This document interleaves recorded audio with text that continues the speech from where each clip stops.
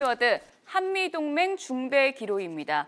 지금 한미동맹이 중대 기로에 놓였습니다. 지난해 12월에 열린 협상에서 미국 측이 우리나라에 10억 달러를 부담하라고 최후 총톱했다고요. 이 한미동맹이라는 것은 피해 혈맹이지 않습니까? 선조들이 피를 흘려가면서 지킨 동맹입니다. 그런데 참 안타깝게도 이 동맹이 돈 문제 때문에 좀 휘청휘청하는 그런 모습을 보이고 있습니다. 트럼프 대통령은 당선되자마자 한미 분담금을 반드시 조정하겠다라고 아주 공언을 해왔습니다. 트럼프 대통령의 논리는 간단합니다. 한국이 이제 잘 살게 되었지 않느냐. 한국이 어느 정도 살게 되었는데 왜 어려운 미군이 미국이 미군을 주둔시키면서 돈을 다 부담해야 되느냐. 그러면서 우리나라의 부담금을 지금 두 배를 올려라라고 요구하고 있습니다. 한꺼번에 두 배를 올려라는 겁니다.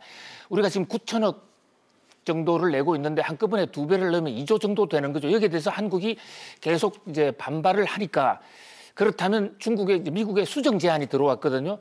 그러면 미국은 11, 저, 10 빌리언 그러니까 그 빌리언 1빌리언입니다. 그러니까 10억 달러 이상은 내라. 10억 달러 하면 우리 돈으로 약 1조 3천억 정도 되는 돈이에요. 그럼 전년 동기 대비 15% 정도 늘어나는 거죠.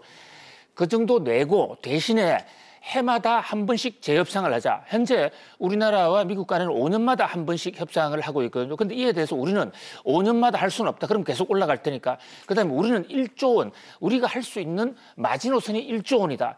그래서 한국은 1조 원, 미국은 1 빌리언. 이1 빌리언을 우리 돈으로 하면 1조 3천억 정도 됩니다. 그래서 1조냐 1조 3천억이냐 이거를 두고 지금 어 일대 그 전쟁 상황이 벌어지고 있다고 하겠습니다. 물론 1조 원이냐 1조 3천원이냐 이것도 크지만 그보다 더 중요한 것은 우리 정부가 지금 부담을 갖고 있는 것은 1년에 한 번씩 하는 것을 5년에 그한 번씩 하는 것을 1년에 한 번씩으로 매년 협상을 하는 것으로 바꾸는 바꾸자는 미국 측 제안.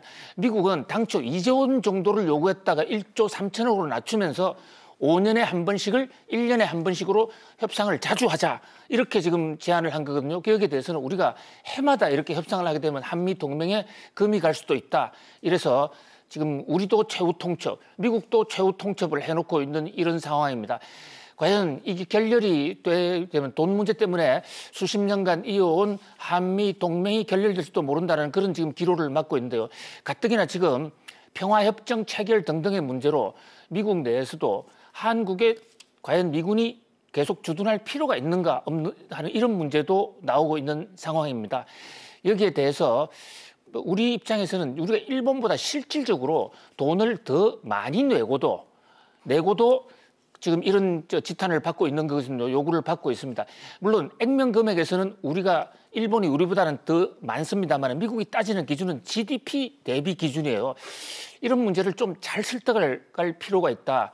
한국의 경제 상황이 엄중하다는 사실, 그 밖에 군비 부담이 일본보다는 훨씬 크다는 사실, 이런 것을 좀 잘 설득을 해서 미국의 어, 이 의회 또는 미국의 심장부를 겨냥한 그런 좀 정밀한 어, 고공 외교를 할 필요가 있을 것으로 보입니다.